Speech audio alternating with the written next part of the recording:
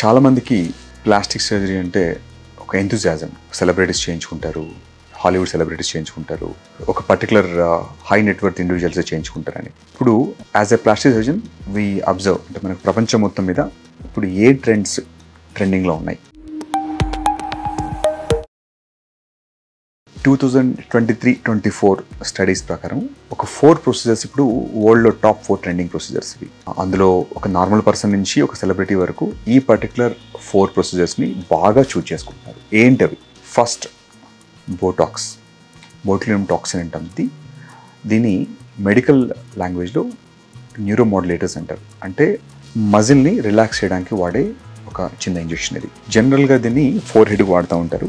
ఆఫ్లేట్ social media trending వచ్చి మనకు filters వచ్చిన తర్వాత ఎక్కువ మంది చూజ్ చేసుకున్న ప్రొసీజర్లో బొటాక్స్ వరల్డ్లో నెంబర్ వన్ ప్రొసీజర్ దాని నెక్స్ట్ ప్రొసీజర్ ఫిల్లర్స్ అంటే. ఈ ఫిల్లర్స్ అనేది మనకు హైలోనిక్ యాసిడ్ అనేది మన బాడీలో ఉండే ఒక పదార్థం అది. చర్మంలో ఎప్పుడైనా హైడ్రేషన్ తక్కువైనా వాల్యూమ్ తక్కువైనా ఒక స్పేస్ లాగా వాడుకోవచ్చు దీన్ని. దీన్ని లిప్స్లో ఫేస్లో బాడీలో బ్రెస్ట్లో చాలా చోట్ల వాడతారు ఈ ఫిల్లర్ని సో ఫిల్లర్ అనేది second leading procedure in the world చాలా కామన్గా డన్ ప్రొసీజర్స్ ఇది డెమటాలజిస్ట్ మీ సర్జన్స్ ప్లాస్టిక్ సర్జన్స్ కాస్మెటాలజిస్ట్ వాళ్ళ ఎక్స్పీరియన్స్ని బట్టి దిల్ uh, ఈ ప్రొసీజర్ చేస్తారు. థర్డ్ ప్రొసీజరు ఫేస్ లిఫ్ట్స్ ఎందుకు ఫేస్ లిఫ్ట్స్ ఇంక్రీజ్ అయ్యాయంటే లాస్ట్ ఫోర్ ఇయర్స్లో మల్టిపుల్ వెయిట్ లాస్ టెక్నిక్స్ వచ్చాయి మార్కెట్లో అందులో డైట్తో తగిన వెయిట్ లాస్ ప్రొసీజర్స్ తర్వాత కొన్ని ఇంజెక్షన్స్ వచ్చాయి. ఇప్పుడు మనకు వెయిట్ లాస్ ఇంజెక్షన్స్ దాంతో కూడా rapid weight loss almost twenty to twenty five percent weight loss అవుతుంది